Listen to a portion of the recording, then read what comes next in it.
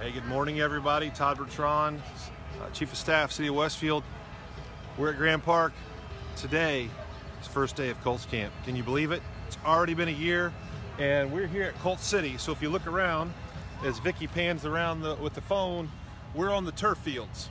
And remember, last year was over in the parking lot. It's kind of tough to get to.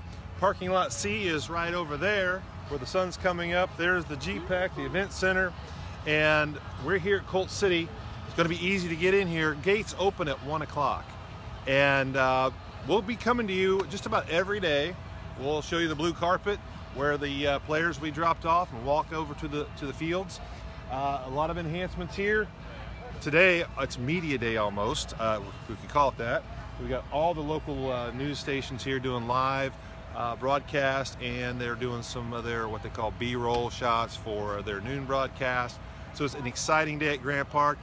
Get your friends, get your family, get, get your neighbors, get some strangers. Colts.com, get your ticket. Come out here, gates open 1 o'clock. Get on Colt City, and uh, let's kick off Colts camp together. Hey Todd, aren't the tickets free?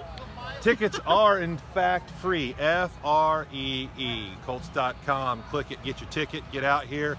And the main ticket, one of the main ticket entries is just on the other side of uh, the pro shop there. As you come off Lot C, walk here by Colt City, walk over the stands, and it's going to be a great day.